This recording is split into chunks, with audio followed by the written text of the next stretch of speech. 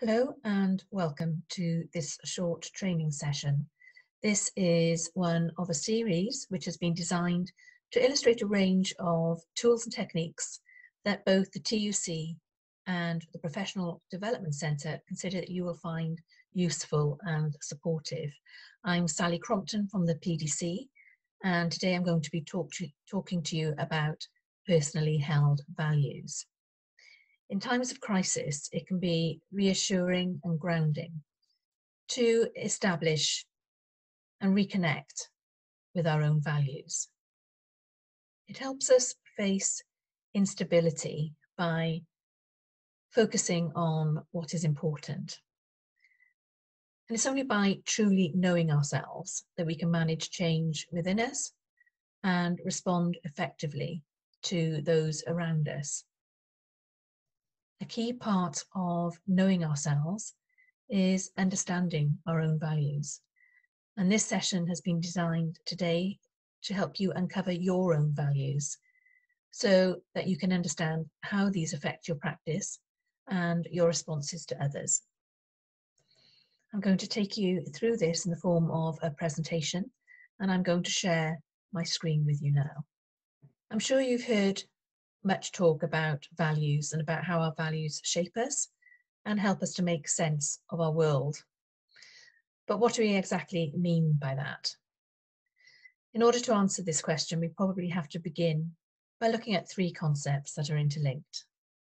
And they are beliefs, values, and attitudes. So beliefs are the things that we know to be true, but without necessarily having the evidence to su substantiate them and it might include our religious beliefs or knowing that in times of trouble, our family and friends will be there to support us, or believing that citizens having the right to bear arms prevents us being victims of crime, or that success is dependent on who we know rather than what we know, or maybe that our DNA ensures that we will always be either fat or slim. Values are the basis of our ethical decision making and they underpin our understanding of what's right and what's wrong. So you may believe that stealing is wrong, that telling lies is wrong. You may also believe that hurting someone's feelings is wrong. Yet maybe, to spare someone's hurt, you've told a lie what we know as a white lie. Making value judgments can be difficult, and it often involves compromises between absolute right and wrong.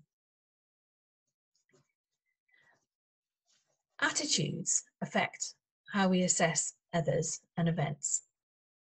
And to do this, we draw on our beliefs and our values. If we believe someone isn't truthful, for example, because we've caught them out in the past, then we won't necessarily trust them in other situations.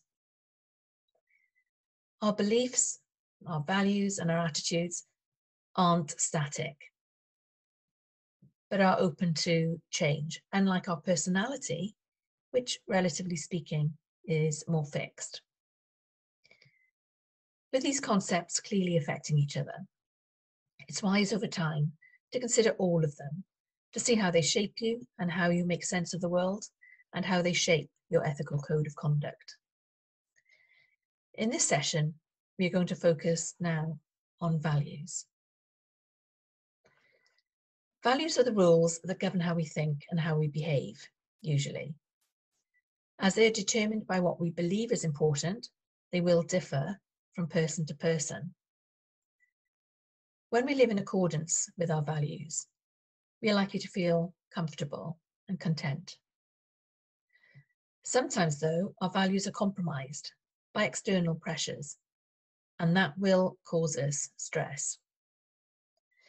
Knowing our values gives us agency, and by that I mean it gives us some control.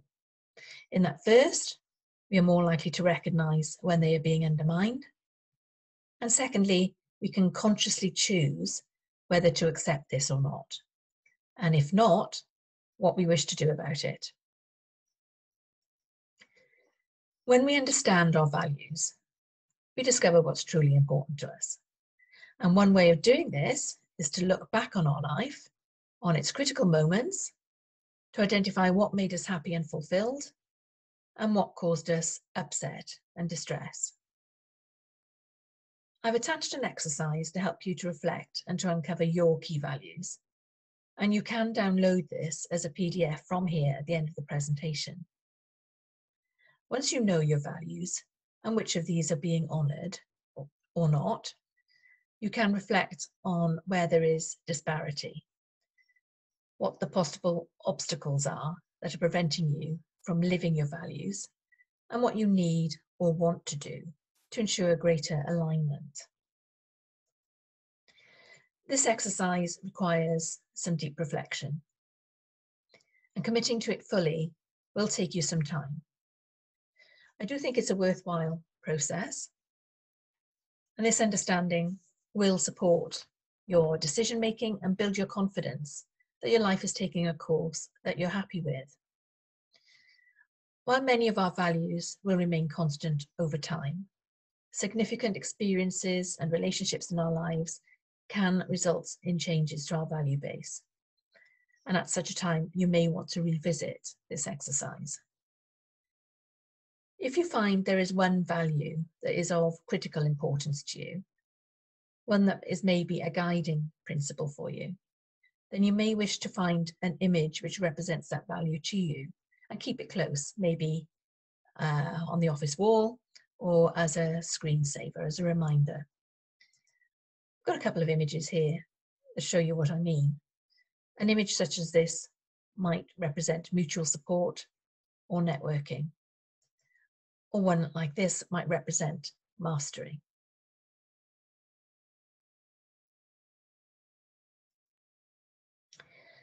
Thank you for following this presentation today. Enjoy the exercise which is attached Taking a step to uncover your own values is a positive step in the direction of supporting your own emotional intelligence. Always a worthwhile exercise. All the very best and see you again here soon. Goodbye.